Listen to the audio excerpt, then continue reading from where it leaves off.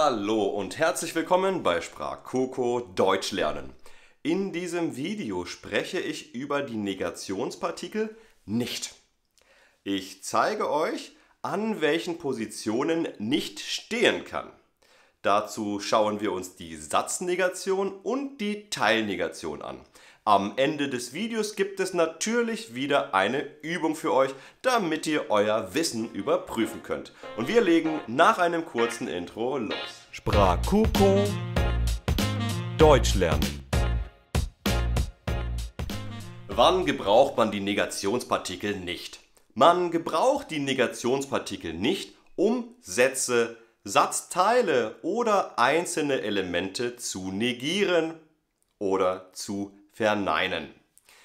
Die Negationspartikel nicht kann in unterschiedlichen Satztypen stehen. Schaut euch mal die folgenden Beispielsätze an. Julia macht ihre Hausaufgaben nicht. Oder macht Julia ihre Hausaufgaben nicht? Warum macht Julia ihre Hausaufgaben nicht? Und vergiss deine Hausaufgaben nicht. Von oben nach unten haben wir einen Aussagesatz, dann eine Entscheidungsfrage oder Ja-Nein-Frage, eine Ergänzungsfrage bzw. W-Frage und einen Aufforderungssatz. Das interessiert euch aber wahrscheinlich gar nicht so sehr, oder? Ihr möchtet wissen, an welchen Positionen nicht steht. Und genau dieser Frage gehen wir in diesem Video nach, denn nicht kann an unterschiedlichen Positionen im Satz stehen. Ich zeige euch nun konkrete Beispielsätze, damit ihr eine Vorstellung davon habt, was ich denn heute zeigen möchte. Seht euch mal die folgenden Beispielsätze an. Ich kaufe das Auto nicht. Ich lese das Buch nicht. Ich habe das Buch nicht gelesen. Und ich nehme das Buch nicht mit. Das sind die ersten Beispielsätze und sehr einfache Sätze. Ähm, aber es geht um die Struktur. Schaut euch mal die Sätze an. Wo steht nicht? In den ersten beiden Sätzen steht nicht am Ende. Die Struktur ist ähnlich. Wir haben ein Subjekt, ein Prädikat und ein direktes Objekt. Ähm, je nachdem, welches Sprachniveau ihr habt, könntet ihr auch sagen, hier haben wir eine Person und dann ein Verb und eine Ergänzung. So. Dann steht nicht am Satzende wenn es ähm, um die Satznegation geht. Das schauen wir uns aber später noch einmal an. Ähm, in Satz 3 haben wir eine andere Struktur. Hier haben wir das Perfekt. An Position 2 ist das Hilfsverb und am Satzende steht der infinite Verbteil. Hier das Partizip 2. Das braucht ihr, ja, um das Perfekt zu bilden. Wenn es dann eine Satzklammer bildet, steht nicht vor dem zweiten verbalen Element wenn ihr wisst, was ein Prädikat ist und auch wisst, was ein mehrteiliges Prädikat bedeutet, könnt ihr auch sagen, nicht steht vor dem zweiten Teil des Prädikats. In Satz 4 gibt es ähm, ein trennbares Verb. Ihr seht das hier in diesem Satz. Ja, ich nehme das Buch nicht mit. Ähm, und das wird ja getrennt. Und der trennbare Teil, also in diesem Fall die Partikel, steht am Satzende und dann gibt es auch wieder eine Satzklammer, wenn ihr hier ein trennbares Verb habt. Okay? Also sind die Sätze 3 und 4 auch ähnlich. Merkt euch hier diese Satzklammer. Linke Satzklammer, Position 2 und dann rechte Satzklammer am Ende des Satzes. Ja, in einem Hauptsatz. Okay. Sehen wir uns noch weitere Beispielsätze an. Er konzentriert sich nicht auf seine Prüfung. Er räumt sein Zimmer nicht ordentlich auf. Und er trifft ihn nicht in der Stadt. Hier gibt es wieder Besonderheiten und diese erkläre ich ganz kurz. Im ersten Satz gibt es ein reflexives Verb, das eine präpositionale Ergänzung fordert. Sich konzentrieren auf. Das müsst ihr so lernen, bitte. Wenn es eine präpositionale Ergänzung gibt, steht nicht davor. Er konzentriert sich nicht auf seine Prüfung. Hier haben wir die präpositionale Ergänzung. Nicht steht davor. Im nächsten Satz gibt es wieder ein trennbares Verb. Er räumt sein Zimmer nicht ordentlich auf. Aber nicht steht gar nicht vor dem ähm, äh, zweiten Verbteil, also nicht vor der Verbpartikel. Warum? Wir haben hier noch eine modale Angabe, nämlich ordentlich. Modale Angaben könnt ihr mit wie erfragen. Wie räumt er sein Zimmer auf? Er räumt es ordentlich auf. Zum Beispiel.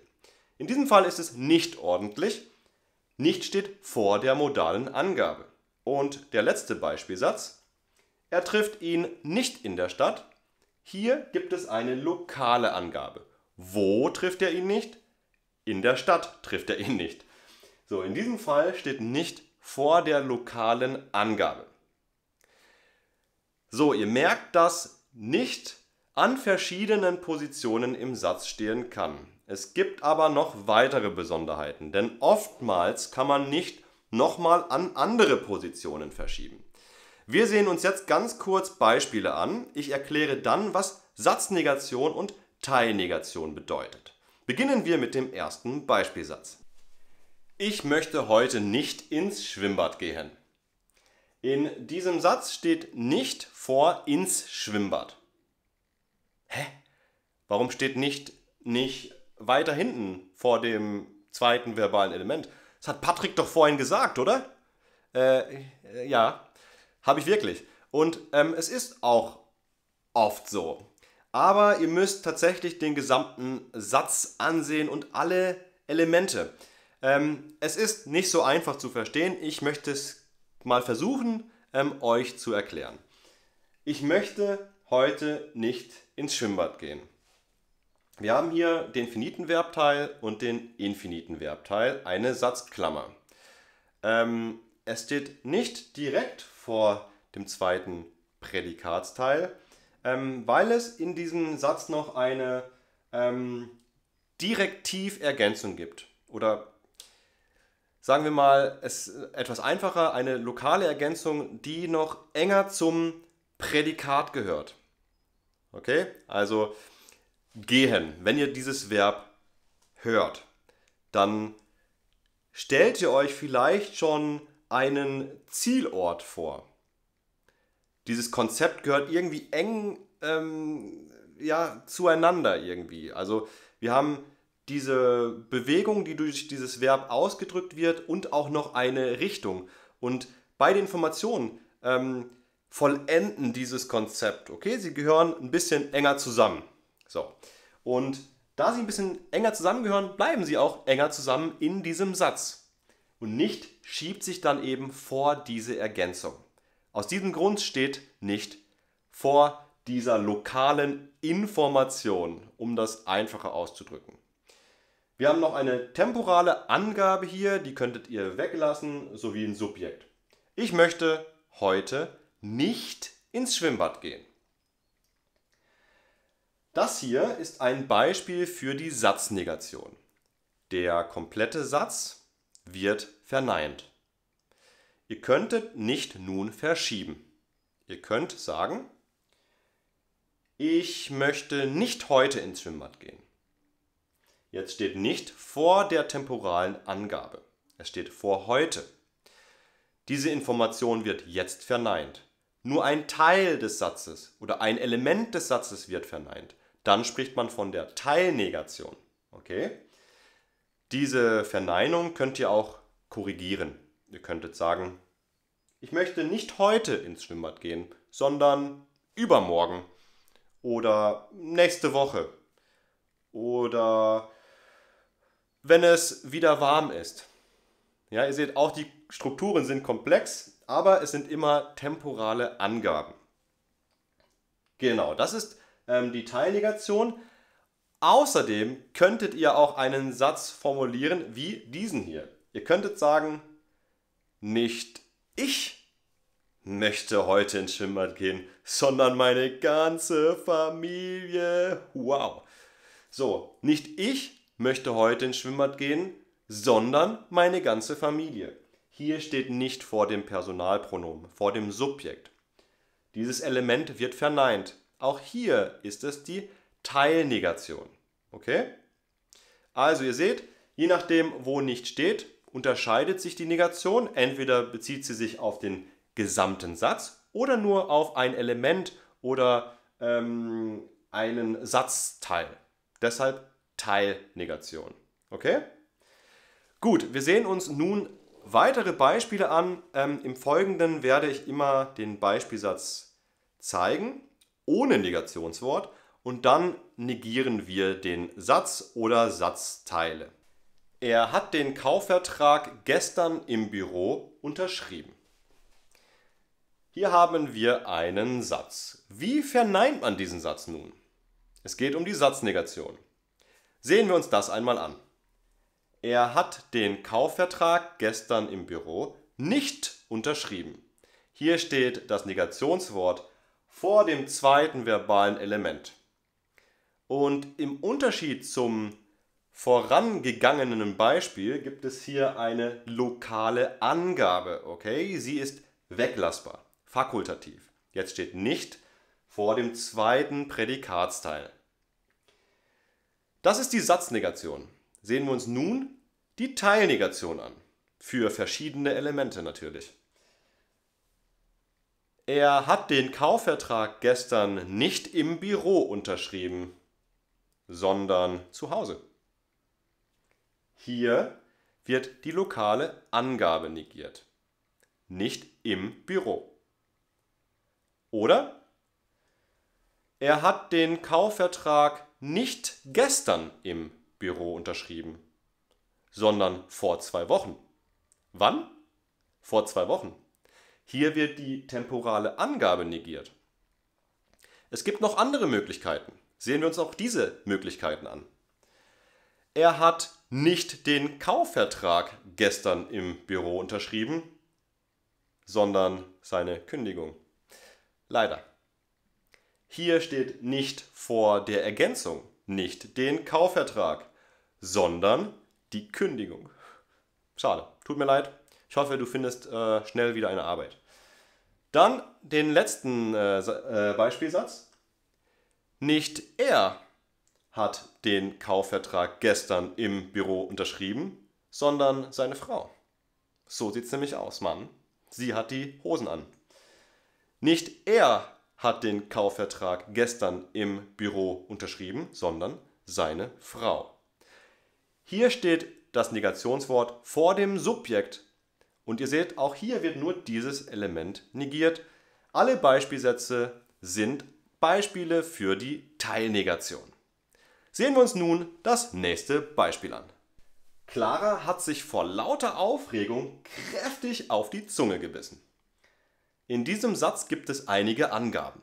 Es gibt eine Information über den Grund, über die Art und Weise und den Ort. Es gibt also eine kausale, eine modale und eine lokale Angabe. Doch wo steht nicht, wenn wir den Satz negieren? Sehen wir uns das nun an. Clara hat sich vor lauter Aufregung nicht kräftig auf die Zunge gebissen. Stimmt ja gar nicht. Clara hat sich vor lauter Aufregung nicht kräftig auf die Zunge gebissen.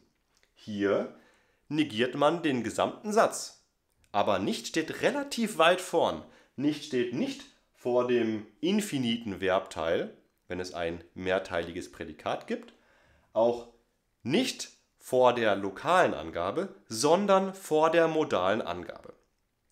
Wenn es in eurem Beispielsatz oder Übungssatz eine modale und lokale Angabe geben sollte, steht nicht meistens vor der modalen Angabe.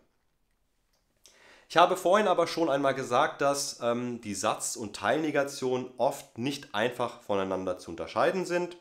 Ähm, dann müsst ihr besonders auf die Betonung des Sprechers achten, sowie Gestik und Mimik. Ähm, denn ich könnte ja auch sagen, ähm, Clara hat sich vor lauter Aufregung nicht kräftig auf die Zunge gebissen, sondern leicht. Dann steht nicht vor der modalen Angabe und negiert auch nur diesen Teil, also dieses Element. Es steht vor kräftig und es verneint dieses. Durch die Betonung wird das dann deutlich. Das ist dann nicht immer so einfach zu unterscheiden, weil ihr den gesamten Kontext beobachten müsst. Aber zur Information, ihr könntet nicht auch dann ähm, gebrauchen, um nur dieses eine Element zu verneinen. Nicht kräftig auf die Zunge gebissen, sondern nur leicht. Und dann ist es ein Beispiel für die Teilnegation. Sehen wir uns nun an, an welchen Positionen nicht noch stehen kann. Clara hat sich nicht vor lauter Aufregung kräftig auf die Zunge gebissen, sondern vor Schreck. Oh, ich habe mir vor Schreck auf die Zunge gebissen. Ja, in diesem Fall steht nicht vor der kausalen Angabe. Nicht vor lauter Aufregung kräftig auf die Zunge gebissen, sondern vor Schreck. Wir schieben nicht noch weiter nach vorne. Clara hat nicht sich vor lauter Aufregung kräftig auf die Zunge gebissen, sondern ihren Sitznachbarn. Äh, ich kann mir schwer vorstellen, äh, wie das funktioniert, aber es ist vielleicht möglich so, ah, oh, sorry, voll auf deine Zunge gebissen. Keine Ahnung, vielleicht hat er so eine lange Zunge. Ähm, noch einmal, Clara hat nicht sich, also nicht steht vor diesem Pronomen und verneint dieses Element.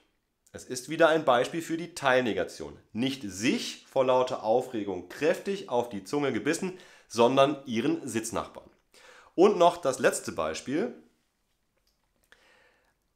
Nicht Clara hat sich vor lauter Aufregung kräftig auf die Zunge gebissen, sondern David. Hier steht nicht vor diesem Nomen, vor einem Eigennamen, nicht Clara hat sich vor lauter Aufregung kräftig auf die Zunge gebissen, sondern David.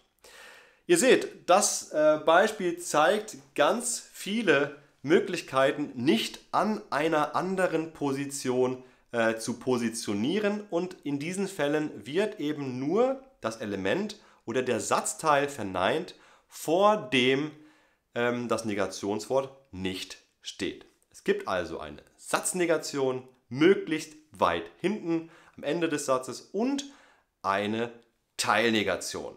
Bitte merkt euch das. Es gibt nun natürlich noch eine Übung für euch. In dieser Übung seht ihr drei Beispielsätze. Eure Aufgabe ist es, jeden Satz zu verneinen. Seht euch nun die Beispielsätze an. Timo hat seine Hausaufgaben gemacht.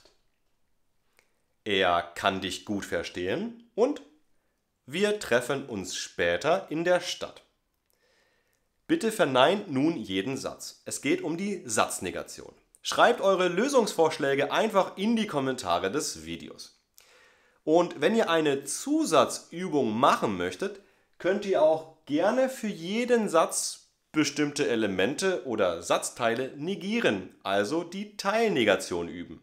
Auch das dürft ihr gerne kommentieren. Ich werde mir eure Antworten ansehen und dann gegebenenfalls den ein oder anderen Kommentar schreiben, euch Hinweise geben oder auch Lerntipps oder einfach nur sagen, super, ihr habt alles richtig.